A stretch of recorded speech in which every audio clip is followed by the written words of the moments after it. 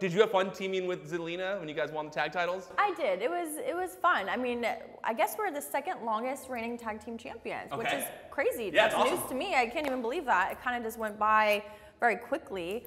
Um, but yeah, I- mean, we get to have a lot of fun and just kind of be brats. And I mean, it's always fun to be a brat, so I'll take it. Would you like to see more TV time devoted to the women's tag titles and just storylines in general for the women's tag titles? I, I definitely think so, and I think um, you know we would have loved to have more TV time with them and do more with them. But sometimes it's just it is what it is. That's just how the cookie crumbles. But I think if given the opportunity, we could have had more time and just been really like rub it in your face. We're better than every. I mean, the queen and the most beautiful woman in all of WWE. That's such a it writes itself the story, right? So um, if given the opportunity, I would have loved to do a little bit more with it. But it is what it is, you know.